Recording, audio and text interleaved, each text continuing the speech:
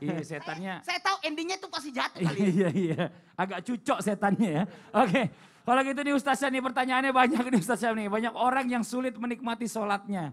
Mungkin karenanya eh, kita tuh sering menunda-nunda waktu sholat. Biasanya kan kalau misalnya azan gitu ya kan orang lagi azan itu kita dengerin azan kita jawab habis selesai azan kita langsung sholat. Itu makanya kita bisa menikmati. Tapi bagaimana mohon maaf nih jika mungkin pas lagi kita kerja ya kan kita mau sholat tepat waktu tapi dari atasan bilang entar aja ini ker- kerjaan selesaiin dulu. Kalau udah selesai baru bisa sholat gitu. Nah ini bagaimana nih?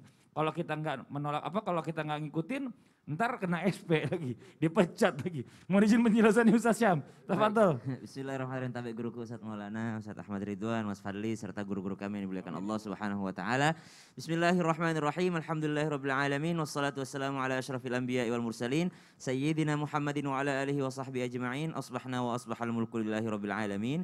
Subhanaka la ilma lana illa ma 'allamtana innaka antal alimul hakim. Amin amin amin ya rabbal alamin.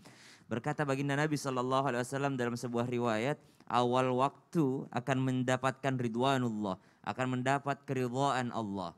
Tapi di akhir waktu akan mendapatkan apa? Afun, akan mendapat ampunan dari Allah Subhanahu wa taala. Jadi mau di awal waktu ataupun di akhir waktu, maka dua-duanya mendapat sesuatu dari Allah Subhanahu wa taala. Namun tentunya ada yang lebih utama. Jadi waktu sholat itu sama ulama dibagi-bagi. Ada waktu utama, kemudian waktu pilihan, ada waktu boleh, ada waktu makruh, ada waktu haram, ada waktu darurat, ada waktu uzur. Sama ulama berbeda-beda pemilihan-pemilihan waktunya. Yang mana ternyata yang disebut dengan waktu utama. Apakah habis azan langsung sholat? Ternyata menurut para ulama waktu utama adalah di mana ketika orang itu hendak melaksanakan sholat mereka sempat untuk melaksanakan pengantar-pengantar sholat. Nah itu yang disebut dengan waktu utama. Jadi yang mana disebut waktu utama? Ketika seseorang sempat untuk melaksanakan qobliyah. Ketika seseorang sempat untuk menjawab adzan. Ketika seseorang sempat untuk yang namanya berwudu, ketika seseorang sempat untuk menunggu jamaah, ketika seseorang sempat untuk berjalan ke masjid, itu yang disebut dengan waktu utama. Bukan berarti pas adzan langsung sholat sendiri rumahnya. Mana utamanya? Anda tidak melaksanakan pengantar-pengantarnya. Belum tentu orang yang pas adzan langsung sholat disebut waktu utama. Kenapa? Karena tidak melaksanakan pengantar-pengantarnya. Maka para ulama juga menyimpulkan, oh kalau begitu lebih baik mengakhirkan sedikit untuk menunggu jamaah dibandingkan pas masuk waktu tapi sendirian. Ya, jadi lebih baik menunggu sedikit, mengakhirkan sedikit waktu sholat untuk menunggu berjamaah dengan melaksanakan pengantar-pengantar pengantarnya, lalu melaksanakan sholat berjamaah dibandingkan pas adzan langsung sholat, sholat sendirian. Kalau pertanyaannya, seorang pekerja lalu dia hendak melaksanakan sholat di awal waktu yang fadilahnya luar biasa, namun ternyata kalau dia sholat di awal waktu buru-buru nih, Oh ya udah kalau gitu eh, rehat sholat dulu. Saya kasih waktu lima menit. Langsung sholat sana pas awal waktu. Tapi lima menit hanya cukup untuk satu sholat zuhur saja.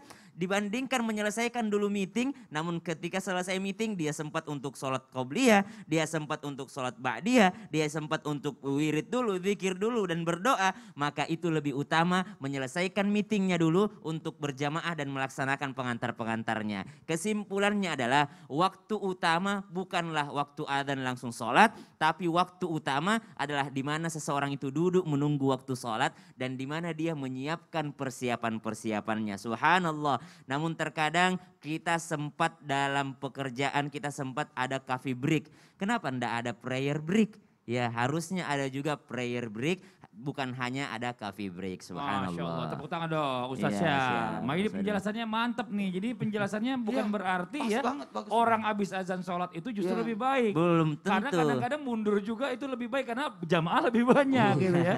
Kalau saya senang banget pecinya Ustaz itu aja. Bagus ya, Kenapa? bagus. Warna hitam ya? Hitam ya. Aja. Iya. Oh dibikinin peci loh. Ini Ustaz